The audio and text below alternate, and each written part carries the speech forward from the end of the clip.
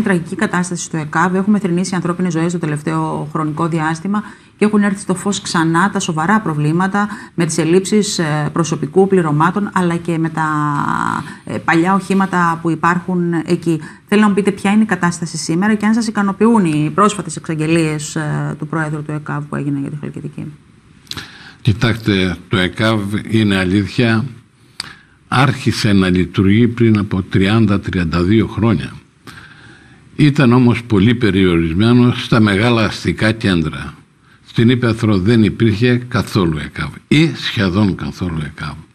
Όμως η Ελλάδα είναι μια τουριστική χώρα. Έχει μπόλικα κρογιάλια, άρα λοιπόν είναι επιβεβλημένη η δημιουργία ΕΚΑΒ σύγχρονου και αποδοτικού. Και επειδή όχι μερικά χρόνια, αλλά μισό αιώνα και πλέον με την ιατρική ασχολούμαι από όλες τις πλευρές. Και τολμώ να πω, δεν είναι εγωιστικό, είμαι τεχνοκράτης στον τομέα της υγείας.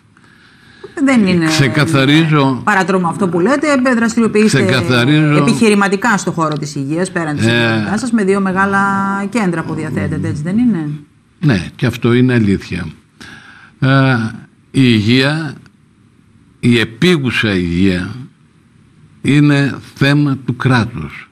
Δεν υπάρχει ιδιώτης που μπορεί να βγάλει πέρα τα οικονομικά της επίγουσας ιατρικής.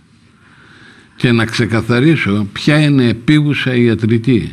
Επίγουσα ιατρική, για να θυμάται και ο κόσμος, είναι μια λέξη, αίμα ή τρέχει και χάνεται πολύ γρήγορα άνθρωπος αν κοπεί μεγάλο αντίο ή θρομβώνεται, πίζει έμφραγμα λοιπόν άρα το να λέμε έχω πονοκέφαλο και είναι επίγον πρόβλημα και τρέχουμε σαν τρελή με το ΕΚΑΒ είναι ανόητο τουλάχιστον ανόητο μπορώ να πω ε, για να μην πω τίποτα άλλο. τέτοια περιστατικά, λοιπόν, έτσι δεν είναι; Ναι, ναι, κλαίει το παιδάκι γιατί έδωσε η μάνα δυο λουκούμια το βράδυ πριν κοιμηθεί έχει πονό και το παιδί, τρέχουμε γιατί α, θα πεθάνει το παιδί. Δεν πεθαίνει κανείς τόσο εύκολα. Πεθαίνει μόνο από το αίμα. Ή χύνεται σε ένα μεγάλο τροχαίο ατύχημα, σπάνει μεγάλο αντίο, μυριαία, σφαΐτιδα και ο άρρωστος χάνεται. Άρα λοιπόν η Ελλάδα του σήμερα δεν είναι όπως ήταν η Ελλάδα του 50 ή του 60 ακόμα μετά από έναν εφήλιο πόλεμο και ολοσχερή καταστροφή. Η Ελλάδα σήμερα έχει δρόμους. Δεν υπάρχει μέρος της Ελλάδος που να μην είναι προσβάσιμος. Υπάρχουν φυσικά κάποια μέρη απομονωμένα τα οποία είναι ο λίγο προβληματικά αλλά οι επαείοντε είναι εδώ και μπορούν να λύσουν το πρόβλημα. Την ίδια ώρα όμως και οι ελλείψεις είναι πολύ μεγάλες και βλέπουμε ότι στη Χαλκιδική αυτές οι ελλείψεις είναι ιδιαίτερα έντονες για μια περιοχή άκρος τουριστική με τεράστια ακτογραμμή. Ε, αυτό πρέπει κάπως να λυθεί. Ήρθε προχθές ο πρόεδρος του ΕΚΑΒ και έκανε κάποιες εξαγγελίες. Σας ικανοποιούν αυτά που είπε; Ε... Είπε για προσωπικό που θα προσληφθεί για να προκειμένου να είναι λίγο καλύτερη κατάσταση το καλοκαίρι; Θεωρείτε ότι είναι λύσεις αυτά ή είναι ασπιρίνες το πρόβλημα; Χρειάζεται μια αυτόνομη μονάδα στην Χαλκιδική, εφόσον είναι ιδιαίτερος νομός λόγω της τουριστικότητάς του, λόγω της μεγάλης ακτογραμμής, λόγω του, του, ότι είναι μεγάλος ε, νομός το νοσοκομείο, είναι μακριά από πολλές απομακρυσμένες περιοχές; Ε, σωστά το λέτε, αλλά επειδή βάλατε πολλά πράγματα μέσα στις λίγες φράσεις. Ναι, θέλω να ξεκινήσουμε ε, από τις Είναι το ερώτημα που μπορεί να βάλει κανείς για να καταλάβει το μέγεθος του προβλήματος είναι για μένα χρειάζεται να εφημερεύουν από τα 140 νοσοκομεία της Ελλάδος τα 125-130 κάθε μέρα. Να εφημερεύουν για τα επίγοντα περιστατικά. Η απάντησή μου είναι όχι. Δεν χρειάζεται. Πόσα χρειάζονται, μη σας φανεί περίεργο, αν αναπτυχθεί σωστά ΕΚΑΒ, όχι με αεροοικονομιδές, Δηλαδή την αεροκομιδή την έχω διαγράψει. Γιατί τη θέση της την παίρνει τηλεϊατρική, αλλά σωστή τηλεϊατρική. Άρα λοιπόν για να συνδυάσουμε την ισοτική Ελλάδα που υπάρχει μεγάλο κομμάτι, εκεί επιβάλλεται η ανάπτυξη της τηλεατρικής σε ύψιστο βαθμό.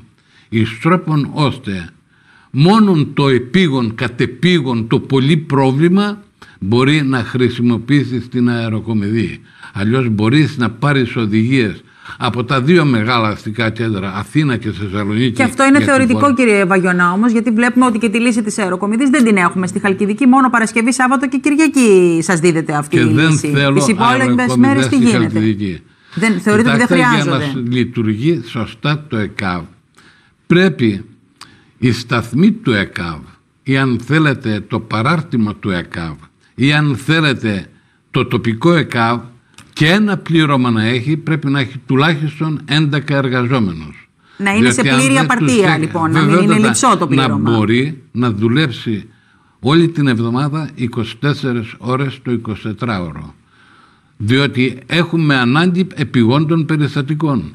Και θα μου πείτε και τα άλλα νοσοκομεία τι θα κάνουν. Άλλο ερώτημα που χρειάζεται άλλη αναδιάρθρωση.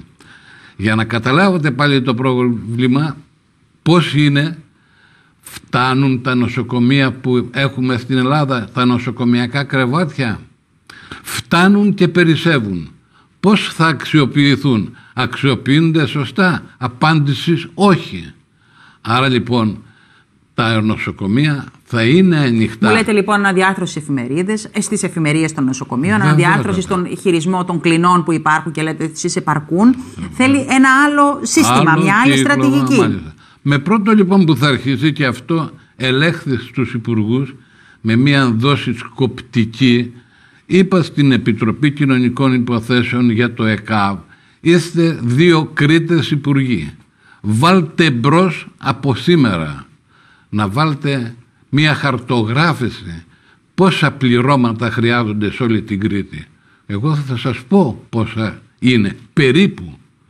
Πόσους εκαβίτες χρειαζόμαστε. Λέω κάθε πλήρωμα 11. Για τη Χαλκιδική που την ξέρω καλύτερα. Αυτή τη στιγμή τα 7 είναι επαρκή να εξυπηρετήσουν το 95% των επιγόντων περιστατικών. Ποιο είναι επίγον; Αυτό που μπορεί να αντιμετωπιστεί στο πάνε έλα κατά μέσον όρων 30 λεπτά. Είναι εφικτό αυτό; Είναι παραεφικτό. Και θα μου πείτε το Κύριε Παγιονά, έτσι όπως έχει η κατάσταση το καλοκαίρι θεωρείτε ότι θα έχει πρόβλημα η Χαλκιδική; Η Χαλκιδική πάντα είχε πρόβλημα, αλλά υπήρχε και μια περίοδος, το λέω με τα λόγου γνώσεως, το 2008, υπάρχουν τα πρακτικά, το 2009, ήταν σε πολύ καλή κατάσταση, είχε φτάσει τα 78 άτομα, ιδιαίτερα 78 άτομα, θα πει ότι έχεις τουλάχιστον 7 πληρώματα πλήρη.